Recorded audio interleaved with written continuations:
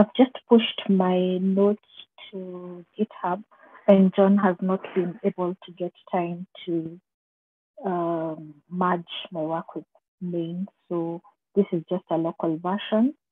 Um, the live version is still not updated, so we are going to work with this for now.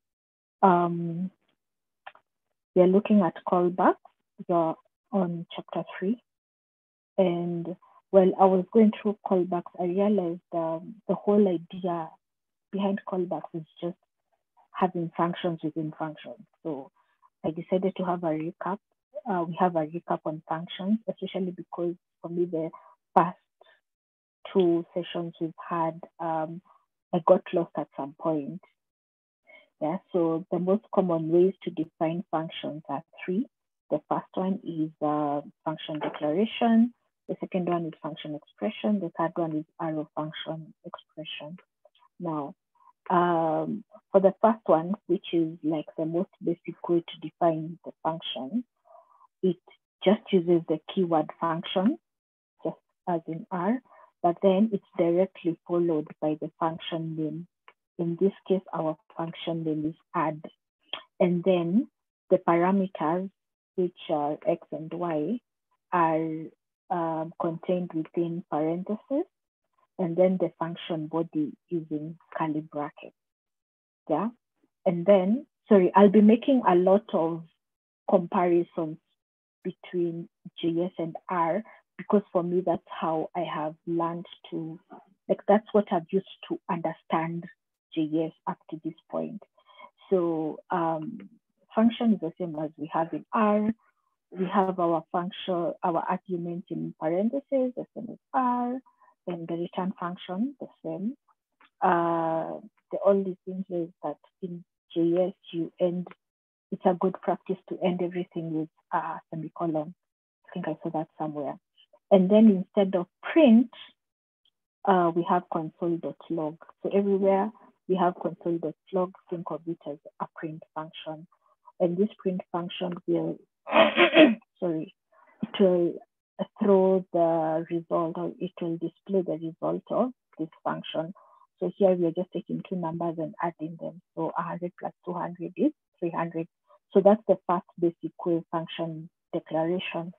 The second way that um, I really love is function expression, which to me is now what we know in R, except from this part if I was to hide this const part, um, in R we give the object name as add is equal to function, blah, blah, blah. It's just the same as in R. So I've loved this a lot because I've related. Again, um, take two numbers and add them.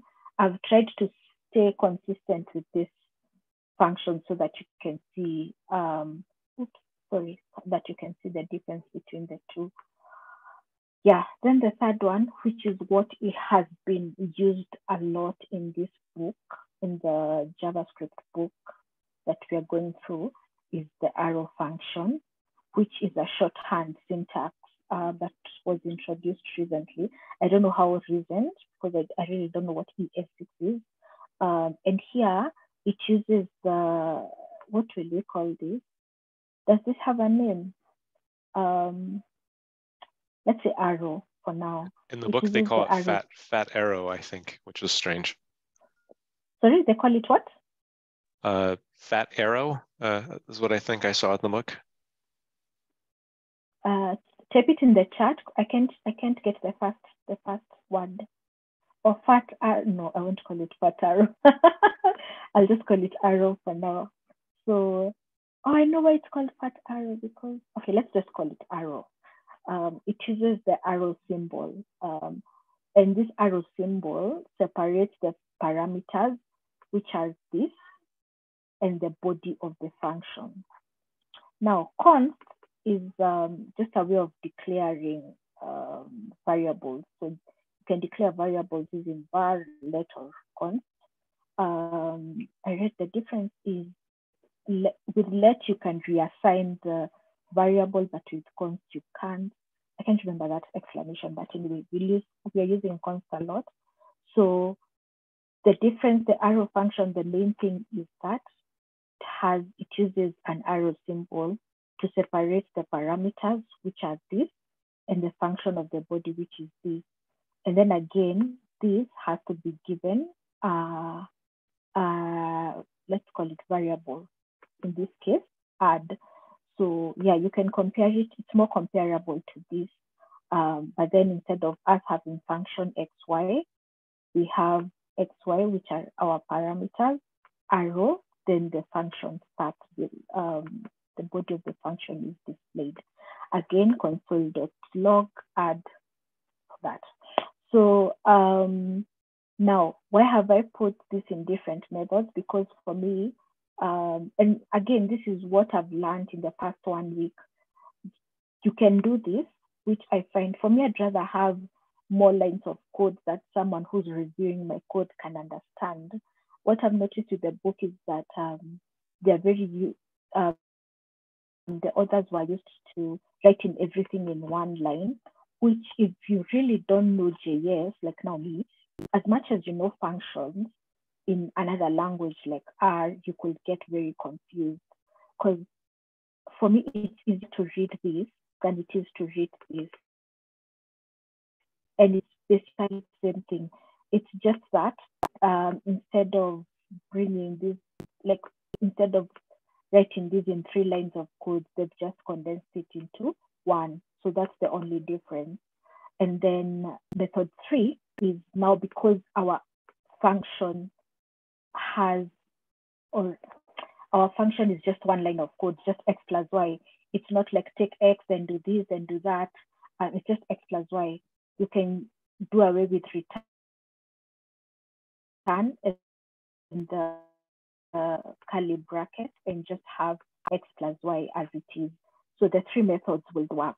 Um, I again find this easier um, for me. And anyway, everything, whichever method anyone finds important, like works for them, that's fine. Um, but in the book, mostly they are doing a lot of this, which again, I'm finding very confusing. Like it's a lot of cognitive load. Um, so now, Uh, uh, um, also, what uh, are callbacks? And I, I Shel, if, if I can, Uh-huh. sorry to interrupt, if I can make a quick comment. Uh, it's not only the book that prefers the second method that, that you have used. It's also the most common one used when you are defining callbacks. Okay, okay, okay. Wow, that's even more scary. it's like the industry standard right now. Yeah, pretty much. Okay, uh, please type on the chat so that um, maybe someone who looks at this chat later can, I don't know, can get that. But I didn't know. But thank you. Okay, so now callbacks. Um, I've, I've really struggled to understand this, but for me, I feel like callbacks are just a way of defining which function is ran before which other one. Like if you have like a function that does three things, uh, do A, do B, do C. Um, it, it's just a function that is passed into another function that can be called um, at a later date. And uh, like there's something I've learned. Let me see if I can. Here's my uh, Code. So sorry, I'm going to interchange between our notes and VS Code. Um, there's something learned today that function declarations are hoisted. Um, and here it means that the function um, it's moved to the top of its scope and it can be called for it is declared in the code, which I don't think is possible with R. For example, I have this function that is just a function that greets anyone, like it takes the name uh, as input, as an argument, and then displays a message. But here, what happens is that we are invoking this function even before we define it. Um, and I think that, that's what, that's that is what it means by function declarations are hoisted. Um, and running this, it actually works. But I really don't think it works. Are um, feel like I wrote an error saying uh, um, yeah, uh, the, you can have so many functions, you can write so many functions, but then um, when you put those functions inside a mother function, um, they become callbacks. That's what I get. Um, I stand to be corrected. And uh, um, again, call stack is a mechanism for tracking function calls in a program. And um, I feel like I've seen the word call stack somewhere in R. I think when we are developing Shiny app um, and you get an error, I feel like I've ever seen the word call stack somewhere. Um, but in essence, this mechanism for tracking function called in a program. Um, and whenever a function is called, the code, and then if a function called function, function is added to the top of the call stack. And this, this mechanism is really important, especially when you, the, the function throws a bug, uh, you're able to know which particular function in that mother function actually threw the bug. Um, and then call stacks are very important now in like and are very much used the functions and functions uh, section here.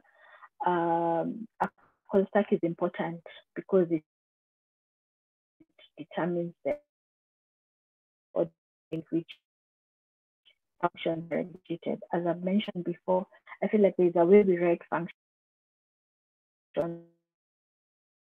Um, you can write functions that you've specified uh, in that mother um, function. So I'm going to start here with an example. Some of these examples are borrowed from different areas. I have, so I've been using our book. I've also been using this book, which is called uh, Eloquent JavaScript. Um, yeah. So example, we have two functions here. The first function, um, we have two functions. The first is a foo function. Then the second one is a bar function and we want to function contains two things, which is um, a text displayed, which is hello from foo, and the bar function. Um, and now the bar function now is also a text like hello from bar. So which one is run first? So when you run, when you invoke this foo, it comes here, runs the first text, hello from foo, which is what you can see here, and then runs the second one, which is actually, I think now this is what is a callback function because it's used in another function. So it goes, calls this function, uh, looks for instructions, which are just print hello from bar. Uh, I have a small definition here that just allow me to read uh, it aloud. In this example, when the foo function is called or invoked, uh, it's added to the top of the call stack. So the JavaScript engine then started executing the code in foo, uh, as I've explained, which logs hello from foo to the console, right? So the first part, and then calls the bar function. The bar function is then added to the top of the call stack and, and its code is executed, logging hello from bar to the console. So once um, the bar function is done, it is removed from call stack and the engine returns to foo to finish executing its code. And finally, when done, uh, and the program. I feel like I feel like this is mean that this has to be like when we invoke foo we just print the first statement and then we go just run the second function. I don't know. I feel like this is just very complex, but um, I hope you get it. The, I hope I, I, I get it the way it's intended to in the way. Uh, uh, Uh, I think it, it is the point it is getting across. At least I do understand it. then here's Uh, the second example. Uh, Yeah, Shel, can you hear me? We are getting a little bit of lag from your end. Yes. Oh, okay, sorry, I, I wanted to make a, a quick comment, sorry. Uh, in, in the notes that you had shared, uh, we saw something similar to what happens in Shiny. That is when you define your foo function and you execute the, well, the third line, that is you invoke the bar function.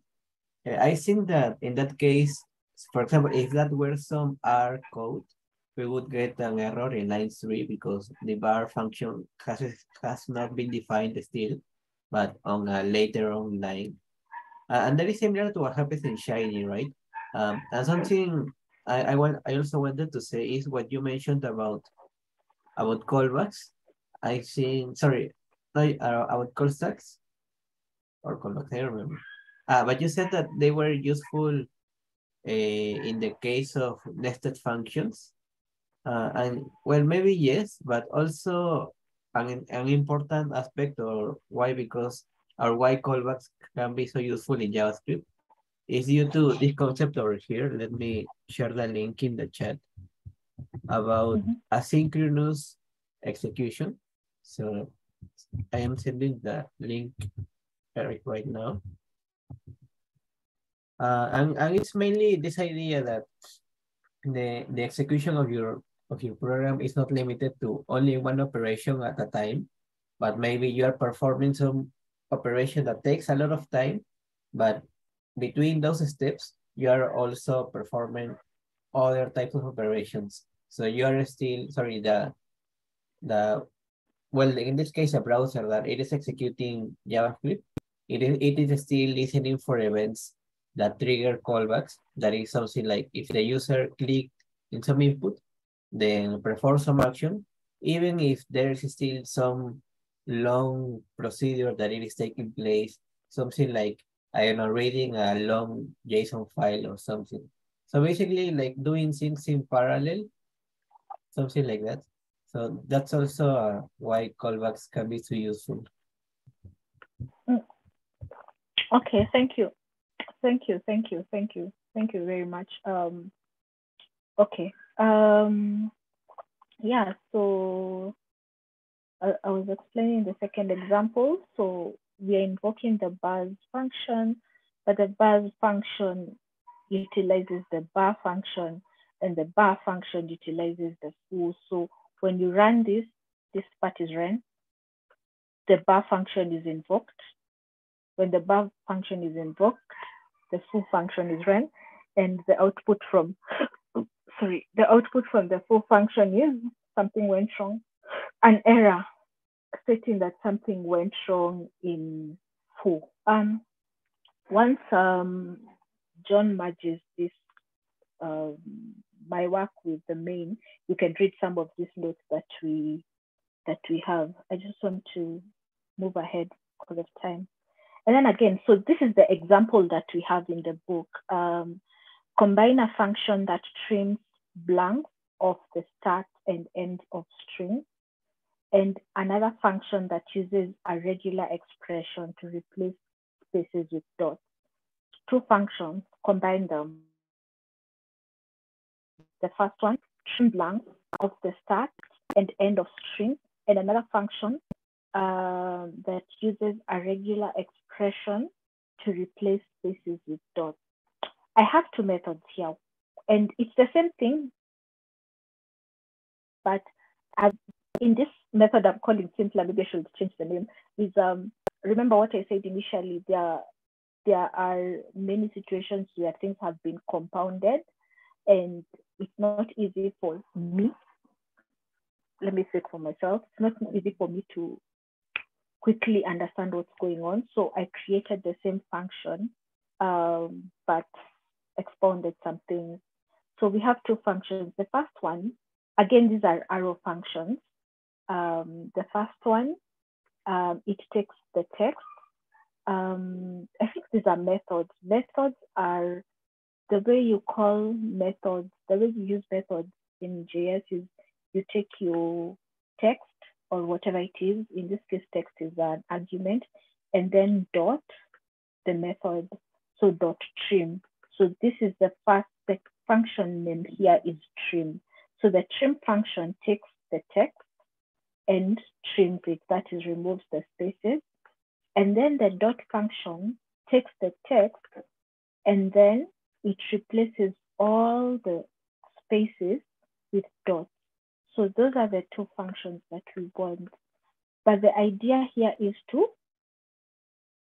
combine them. And it has be sequential. So here we are doing something, then doing something else. So, and then um, another function is dot. So now um, we have this one function that we are calling pipeline, which takes in the text, the original text, uh, text as argument. So the first thing it will do, it will um, run the trim function.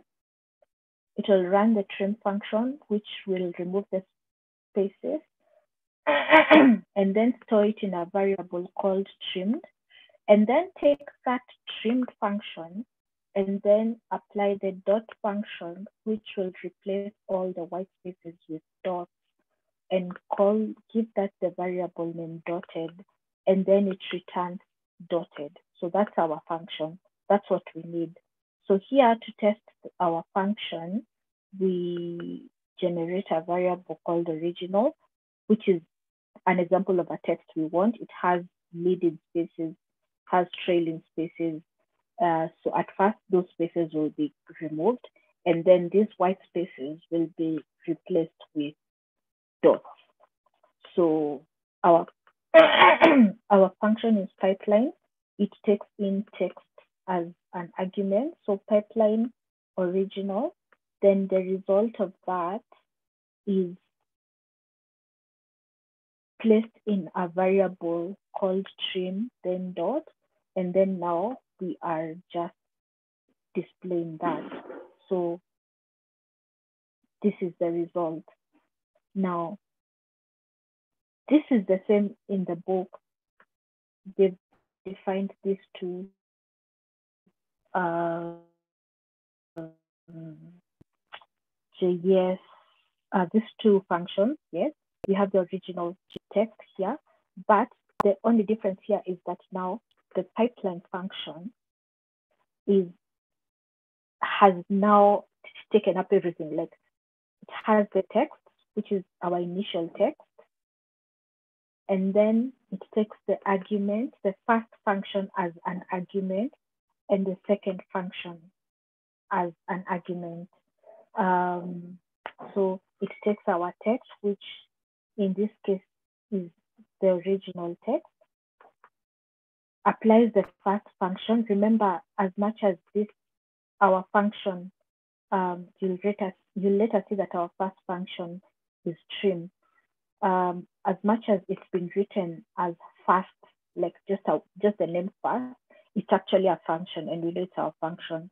So it takes initial, the original text, applies the first function, which will be trim, and then the results of that, it applies the second function, then it returns um, the output. So again, uh, so when you're calling the function, original is the original text. Trim acts as the first function. Remember, as much as it's a function, we are not using parentheses here. We're just going to use the name as it is. Um, and then after that, uh, the dot function, and then call the result. So this was really confusing to me at first, um, especially this part here, until I first did it sequentially, like I broke down the pipeline function into these two parts. Um, and then that's when I later came to understand what was going on. here. And again, um, I feel like this is the industry standard when you have callbacks. Because again, my understanding of callbacks here means that trim and dot are the callbacks. Why? Because they've been used in another function, in this case, the pipeline function. Um, so yeah, that's that's how I, I understand callbacks. Um, yeah, yeah. So, and then that was example three. And then we moved to the anonymous functions, which are just functions that don't have the name associated with. Like normally we use the word function, the keyword function, uh, to just define a function. But then in an anonymous, in an anonymous function, uh, we use the function what the function name. Uh, um, I didn't accessible creation initial creation only be as a value. Oh, I think I get an anonymous. Oh, I think when you store, you're going to see it in an example, if you store this anonymous function in a variable, you can you can access it later. Oh, this is not easy. So the first example um, just prints a message to the console. Um, this function is stored in the greet variable. Then we can call it by invoking greet, then parentheses. And for me, I think the reason this doesn't um, is an anonymous function is because it doesn't have a name here. If we go back to um, this, the function declaration, which is like function, then add, so in our case, yes, the function doesn't doesn't take comments. It doesn't we are giving that function, which I think shouldn't be confused with the name.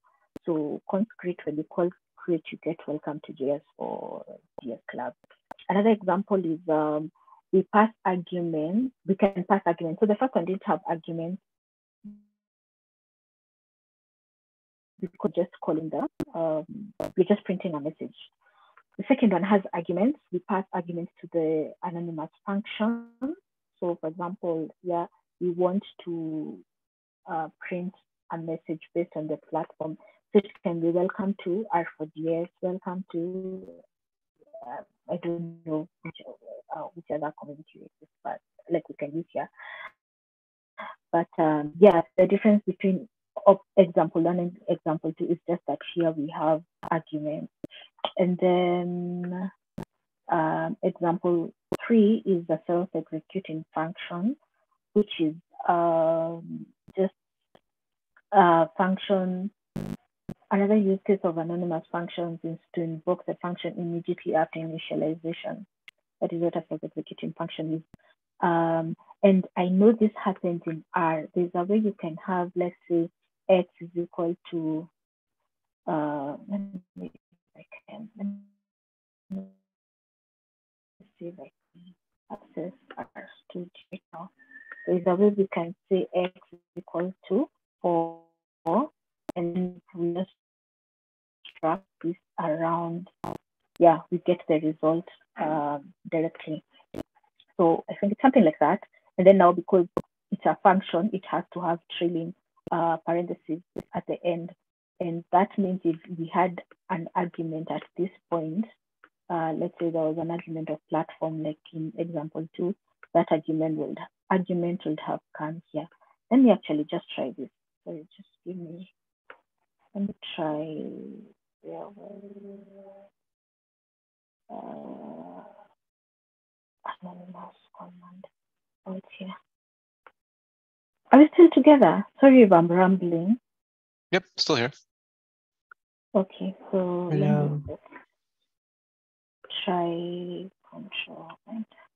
Arthur, thank you very much for encouraging me to use the VS Code as much as mine is white, like the same is white. Um, so let's say we wanted um, welcome to the JS for DS uh, book club. Then we add something like uh, I don't know anything. Um, then let's say we are adding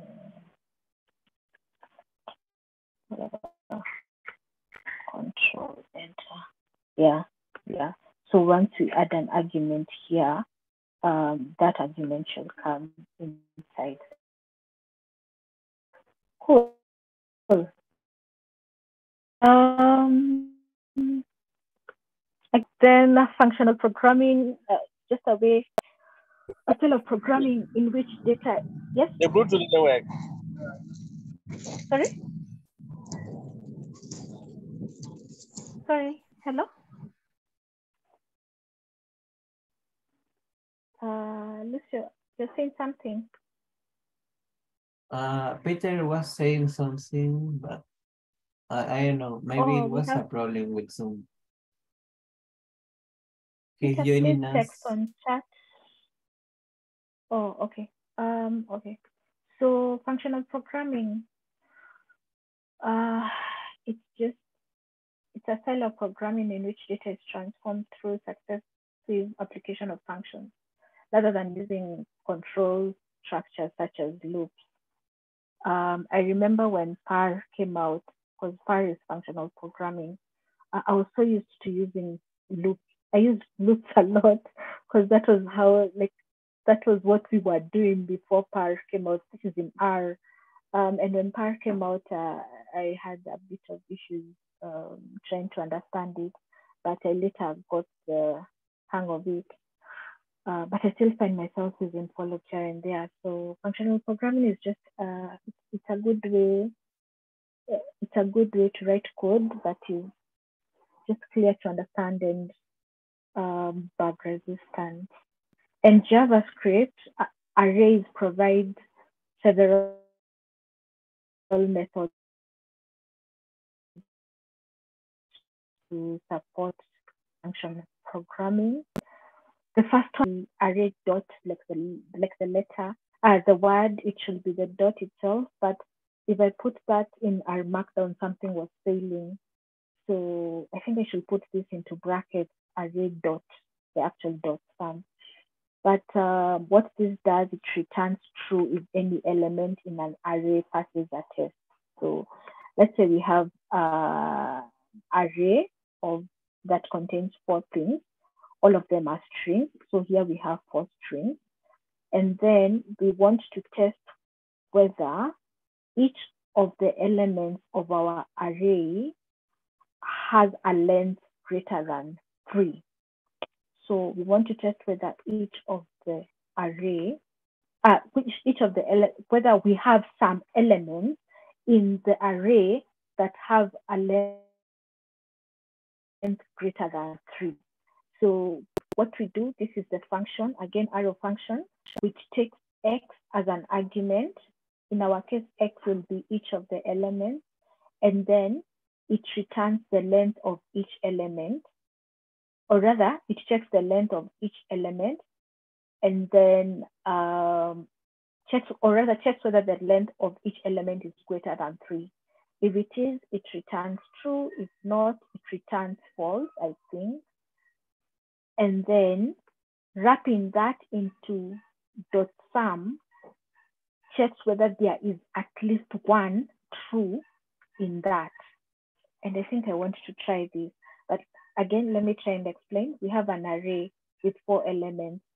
Now, we want to check whether there is at least one element in the array or there are some elements in the array that have length greater than three.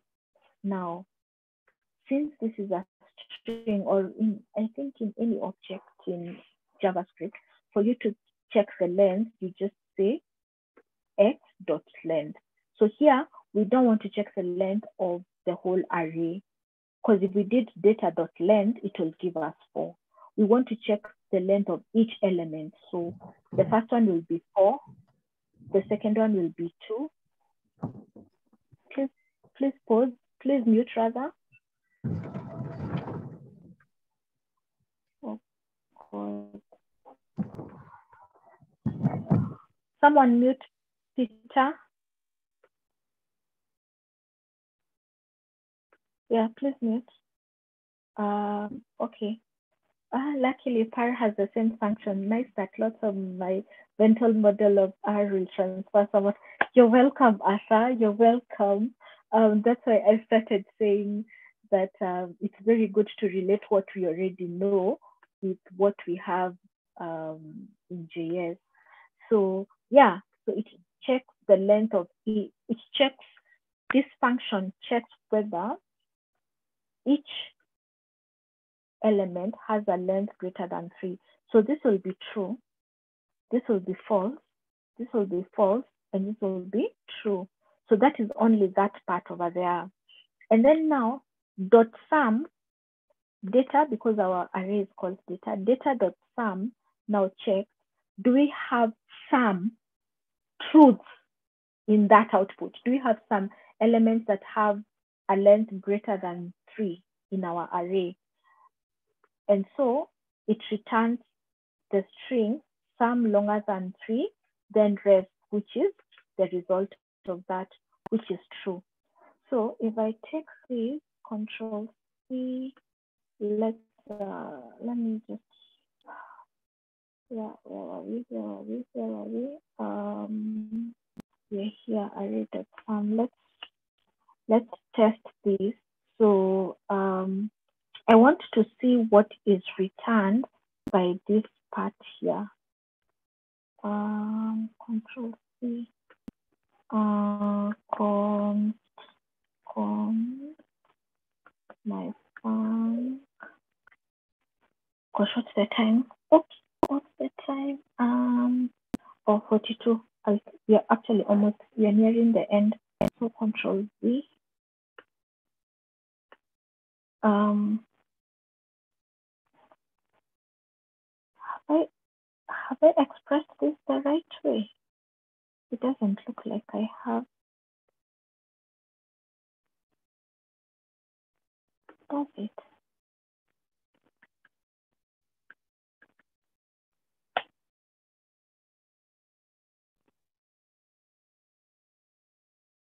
Uh, doesn't look like it's right. Right. Yeah. What is missing initializer? Um. Um. Mm, oh. Oh. Okay. Okay. So let's take the first one. Let's take. Um. Wait. No. My function. Um. Let's take the first value. So let me first run this before I start explaining. I, I think you're getting an error because in line Sorry. two, 254, you are defining data with a const declaration, but then you are ah. reassigning data. Oh yeah, so that's Thank you. Yeah, thank you. Thank you. So I think let's see. Let's see, control enter. Okay, still missing initializer. What am I doing? This is my data, right? If I print, let's say console log this, it prints the first element. You have to always remember that um, JS is zero index. Yeah. So this should bring this. Okay. Control enter this. Okay, so that works. So now I'm defining my function. Let me see the arrow function, the method, the third method, the second method. Okay, let me just copy for the sake of time. Um, we we we are here. So so we want to my function i is equal to oh that is what we were missing. And then console dot log um data two zero. We just want to check. So i have to run. If it doesn't work, I'm just going to go back to our notes. So what are we doing? We have our array. We're defining a function that checks the length of an item. So for us, we wanted to check the length of the first element, which should be true. Huh?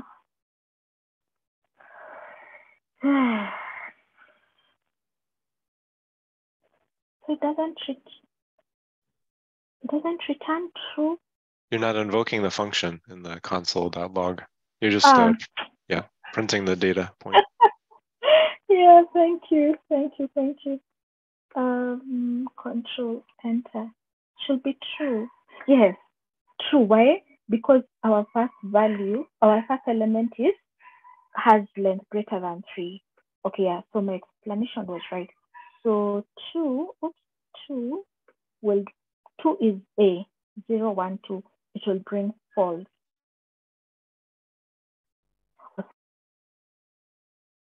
Yes. So yeah. So this checks um it checks whether the length of each element is greater. And then and now the wrapper, which is dot some, checks whether we have at least some. Yeah. So this is three. Um, the same as before, but then here it checks whether all, like every element, is uh has a length greater than one. This I changed uh, a bit. So this is true, true, true, true. Again, the same explanation as before. Uh, oh, this should be every. It shouldn't be some. Sorry, this should be.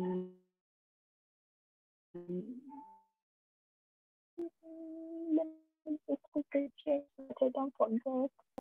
Uh, this should be every at that point. Yeah. Oops, not even saved. Okay, and then very, very, very Google.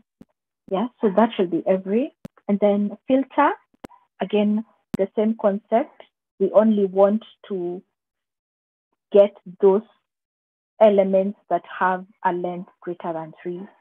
Um, and you can you can relate this to because if I was if I was given such a question, create a new array containing only values that pass a test.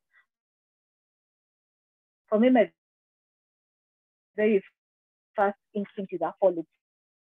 For like if it was in R, like for i in one up to the length of data, um, check this is, and then map. Um, this it creates a new array by calling a function for each element of an existing um, array. So in this case, the same array applies. What we want, we want for each element, we want to slice. That is, we want to extract the first two. Um, slice zero two means from the first to the to the to the to the to the item that occupies the second index but exclusive. Like when we say slice zero two, I will take the first and the second. I wouldn't take the third. I remember doing that. So in this case, for this, we want zero, one. We won't take two because slice has. It has arguments, and if you have two arguments, the second argument is exclusive. So it's from the start to what occupies the second index, but exclusive. So that will be TH, this will be IS, this will just be A, and this will be TE. I hope that um, is understandable. This is what I've struggled with today. and um, I'm happy, I think I, have reached a point where I think I've understood it. Um, array dot reduce, it reduces an array to a single value using some combining function and a starting value. Uh, the combining function must take two values, which are the current running total and the next value of the array. if the array is empty, array.reduce returns the starting value. Then now this is the syntax which will act as our example one. Um, and this is an example. I'm not, I don't know if I've used the example we have in the book. I think I have it somewhere, uh, but it's not our first example. Yeah, we have it, but it's not our first example. Um, so what's going on here?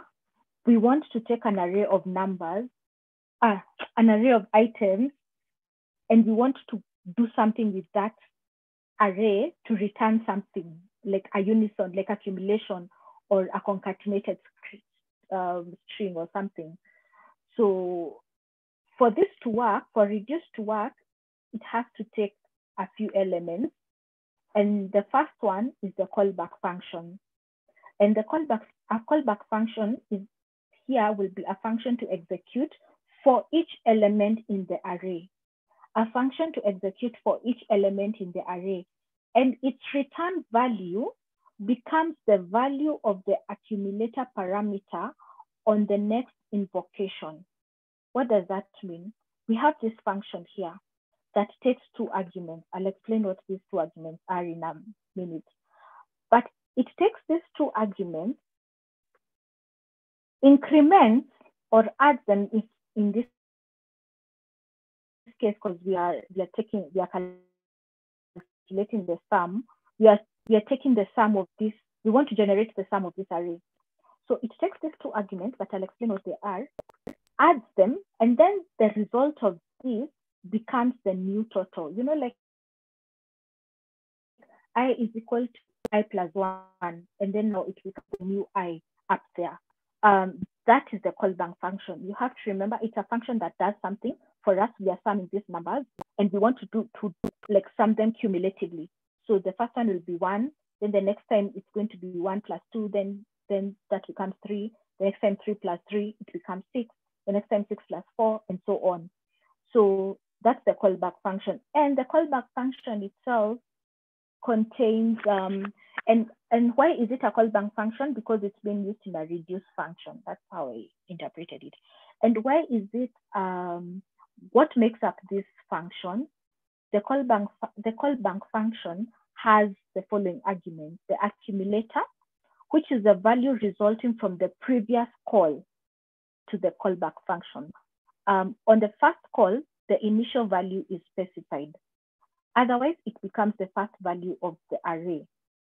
Now, this is where we are going to initiate our accumulator. Our accumulator right now is total. That is going to be our accumulator.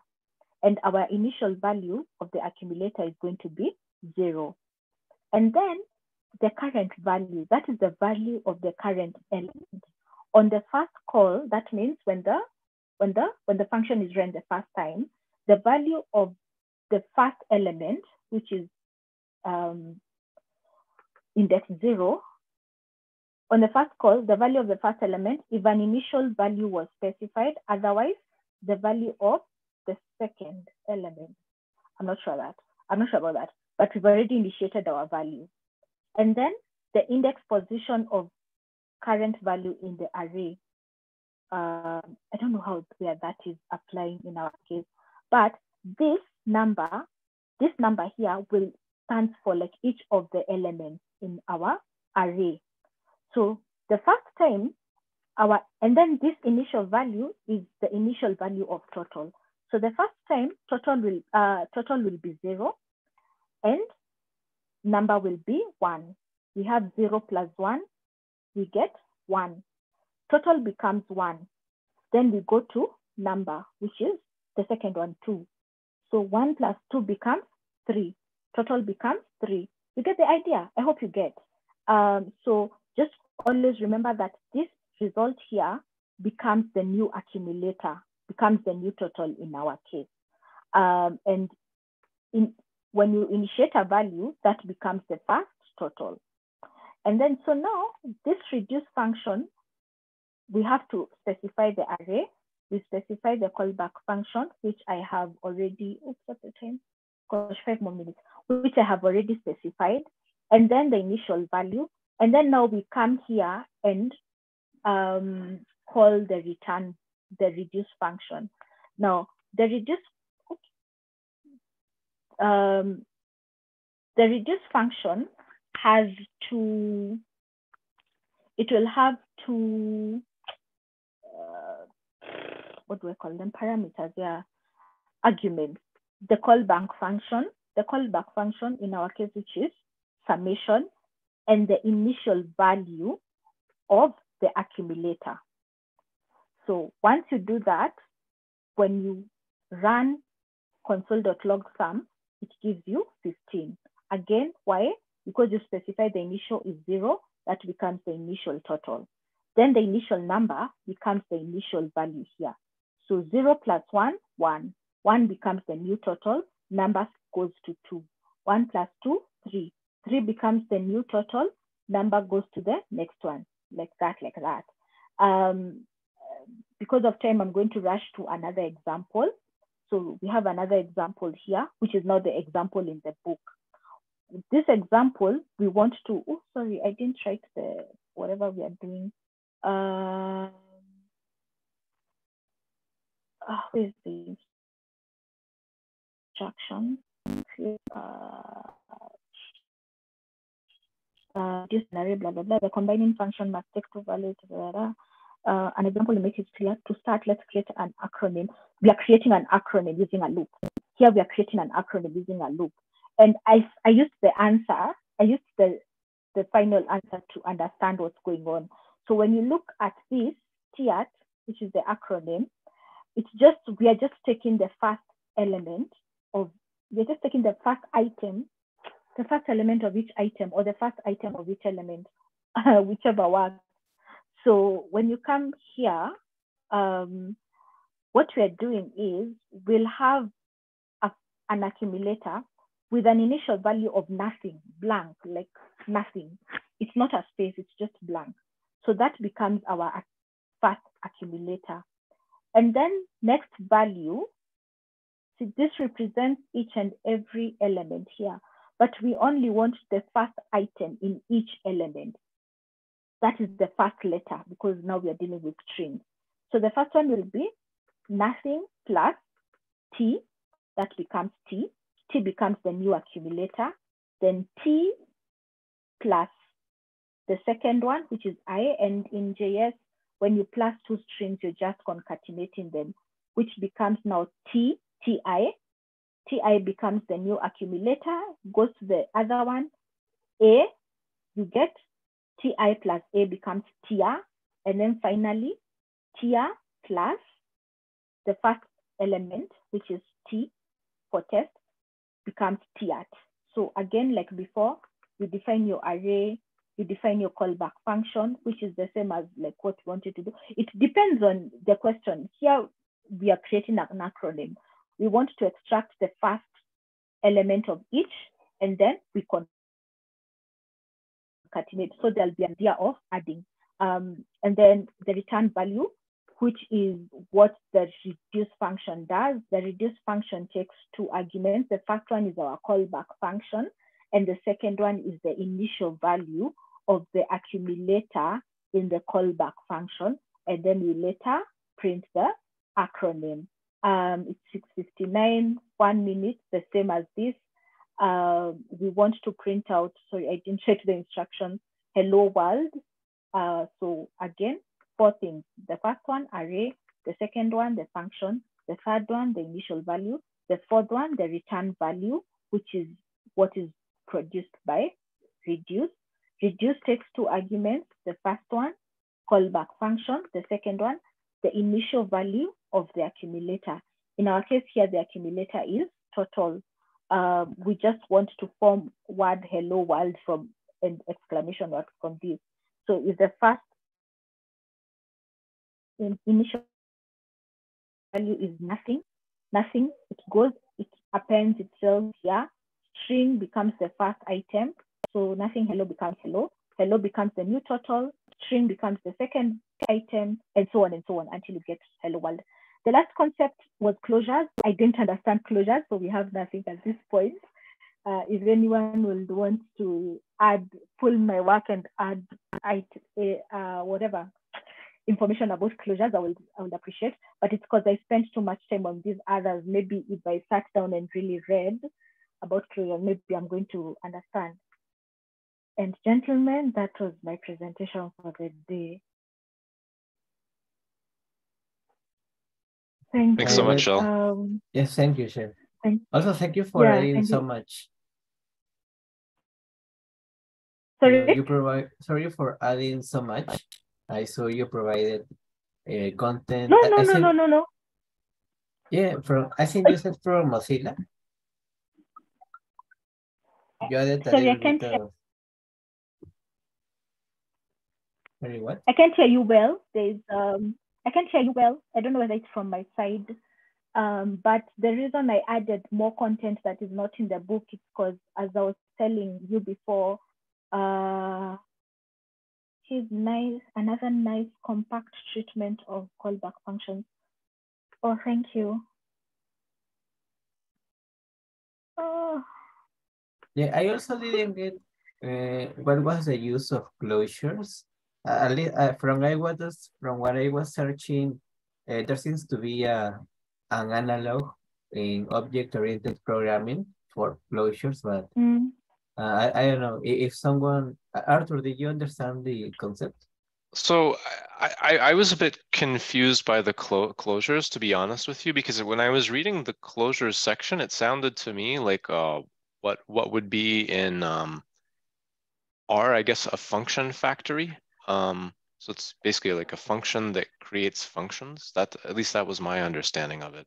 Um, the closures, the closures in R seem like they're they're something different, uh, where you basically have kind of an expression and and an environment in which to evaluate the expression uh, from from from memory. Um, yeah, in, in short, I'm not sure I fully understood, but I I, I think I had like a very different understanding. Maybe this term closure has different meanings in different programming languages, but but again, like the the content seemed a lot like um, a lot like I guess what an R would be called function factories. So functions that would create other functions. Did you what did what did you get from that, uh, Lucio? Uh, well, what I got from that is that, well, again, you can define a function inside a function, but that the main point was that for this nested function that you're defining, you can give it parameters or, or, or variables that are used in a in a parenthesis book. Maybe I should share my screen to to show no, no, no, no, no. I don't have time. Um, I Ah. don't have time. I'm sorry. It's it's 7:03 p.m. in Kenya. Um, I I need Okay, to okay. drop. For, I I think you you guys can continue. I think I can just drop and you continue. I think they'll still record this so I can catch up. But thank you so much for staying till the end. I hope you've learned something. Um, yeah, JS is scary. Like we're only in chapter three, and I'm so tired. um, but um, I'll try and soldier on till till the end. I felt like this Um, yeah, chapter, so- I, I, I don't know how others felt, but I felt like this chapter was kind of confusing and in, in the sense that I, you know, it's about, ostensibly it's about callback functions, but I feel like it was never really clearly defined within the chapter what a callback function is and how it's used. Um, I guess the W3Schools Yeah. link I, I, I- I gave is, seems like it's a, gets to the point a lot more, a lot more directly. This, I mean, the, the chapter was interesting because it was, at least Mm. m- by my reading, was a lot more about, um, I guess, functions and functional programming um, in, in, in JavaScript, which is really, which is really interesting. Uh, but I, I'm, I'm Yeah. s- still not sure I've fully gotten callbacks Yeah. to, to, to, to be honest. Uh, I mean, Yeah. maybe Lucio, uh, maybe you have a clear understanding of what callbacks are, or, or um, you know, whether Hmm. now or you know, like kind of offline, you could maybe maybe kind of uh, provide us a little bit more more more details on on on how callbacks are are used. I mean, I guess like there's synchronous callbacks and there are asynchronous callbacks, right? I guess and I, my understanding of like a callback is basically it's a callback function is a function that that has another function as one of its arguments. Um, and then I guess the synchronous or asynchronous is just like when when the function's executed. Does So- it wait wait for so some other see- action or does it get executed immediately? So you see, Asa, my question here is, which one becomes the callback? Is it the function inside or it's the function outside? Because what I understand is the function, the function, a function that contains another function. Is that the callback or is it the function that is contained in another function? Um, anyway, So, so I think I think it's time. the function that's an argument of another function. So that that first function, I guess they might like they might call it like an outer function. I think that's the callback function. That's that's the way I at least that's the way I understand it, which could be exactly wrong. I don't know. But anyway, thank you guys. Um, we have to go. Please, Asa, Peter, please pick a topic you want to um, present on the Google Sheet. We are off for the next two months, uh, weeks, yay. Um, so our next class is on 30th of March, um, and we don't have someone working on that. So, hi, Asa. How are you? You can take that maybe. I don't know. No pressure. Sure, sure. Um, Yeah, no. I'll definitely then- I'll definitely claim some some things here. Uh, but Lu- you and Lucio got the good ones.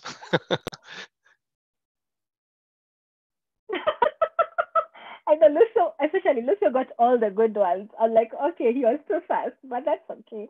Uh, It's okay if Um, you want to overwrite my selection. It's okay. I just No, did no, it. no, no. No, no, So- not at all, not at all, not at all. No, I, I, I'm, I'm no, no. happy. Actually, I think I'll probably take objects and Yeah, you classes because it feels like it's more uh, sort of introductory stuff that I could probably handle. Uh, I'll just write my name in for that now, and uh, and and then yeah, um, you guys, you guys who who, who know who know more about uh, front end stuff are probably better situated than me to take take the rest. Yeah. Okay.